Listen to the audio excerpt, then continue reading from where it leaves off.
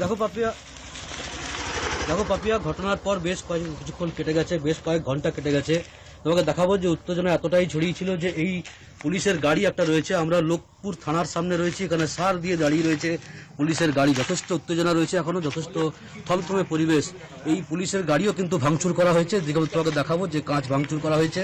এরকম ধরনের পরিস্থিতি সৃষ্টি হয়েছিল সেখানে, যেটা খবর ছিল দুপুরবেলায় এই যে লোকপুর থানা, সেখানকার পুলিশের কাছে খবর ছিল যে স্থানীয় যে গ্রাম রয়েছে, নওপাড়া গ্রাম, সেখানে কয়লা মজুত করে রয়েছে অবৈধভাবে এবং এই কয়লা যখন সিজ করতে যায় পুলিশ, তখন পুলিশের সাথে স্থানীয় গ্রামবাসীদের যে খণ্ডযুদ্ধ বেঁধে যায় এবং পুলিশকে লক্ষ্য করে পাথর ছোড়া হয় এবং পাল্টা পুলিশও লাঠিচার্জ করে এবং এই ঘটনায় পুলিশের এবং স্থানীয় গ্রামবাসীদের দুপক্ষের বেশ কয়েকজন আহত হয় এবং উভয়কেই কিন্তু বেশ কয়েকজনকেই যেটা খবর পাওয়া যাচ্ছে যে, দুর্গাপুরের বেসরকারি হাসপাতালে নীতি নিয়ে যাওয়া হয়েছে চিকিৎসার জন্য।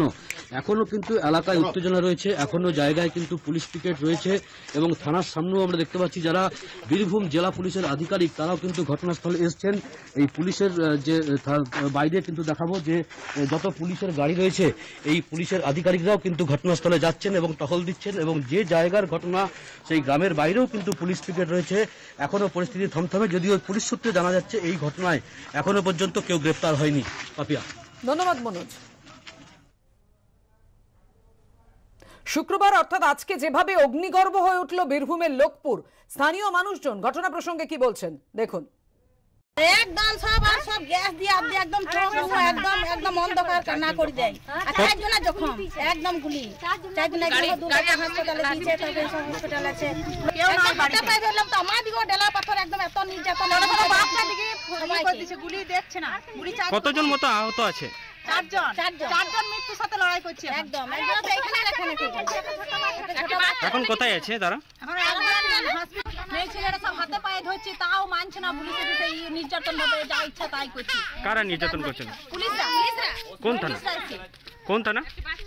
লোকপুর লোকপুর থানা।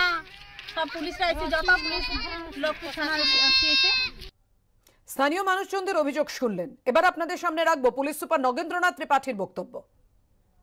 আজকে লোকপুর থানা এলাকায় আমরা খবর পেয়েছিলাম কি ওখানে গঙ্গারাম চক আর হজরতপুর কোল মাইন্স যে পিডিসিএল আছে ওখান থেকে প্রায় কিছু দুষ্কৃতী আর গ্রামের লোক কিছু যে স্থানীয় গ্রামবাসী আছে ওরা যুক্তে চুরি করে এক জায়গায় স্টক করে রেখেছিল ওই নোয়াপাড়া এলাকায় তো যাকে সিজ করার জন্য পুলিশ পার্টি ওখানে গেছিল পুলিশ পার্টি যে মাল নিয়ে ফিরছিল প্রায় দু ডাম্পার আমরা ওখান থেকে মাল রিকভার করেছি more than fifty quintal school আছে ওখান থেকে ওই ফেরার পথে এই যে কিছু দুষ্কৃতী আর গ্রামের কিছু লোক পুলিশের উপরে পাথরাও করে ঢিল পাথর ছাড়ে আর ওখান থেকে পুলিশ পার্টি যে স- সবকিছু নিয়ে চলে এসেছে কিছু ঢিল পাথর আমার লোককে লেগেছে যাকে একটু সামান ইঞ্জুরি হয়েছে আহ, একটু ওসি কাকারতলায় হাতে একটু লেগেছে আঘাত হয়েছে আর টিয়ার গ্যাস সেলের আমরা ওখানে ব্যবহার করেছি ক্রাউডকে ডিসপাস করার জন্য বাই রিটার্ন এর থেকে বেশি কিছু হয়নি আমরা একটু স্পেসিফিক কেস করছি আর এ যারা যুক্ত আছে এই আহ, ঘটনার সম্বন্ধে ওনারা গেস্টে আমরা রেড করে দিয়েছি আমরা ডাইরেক্ট কনফারেন্স এই জন্য যাইনি কি মাল আমরা সিজ করে নিয়েছিলাম আর মার নিয়ে ফিরার আমার লোকের প্রায়োরিটি ছিল।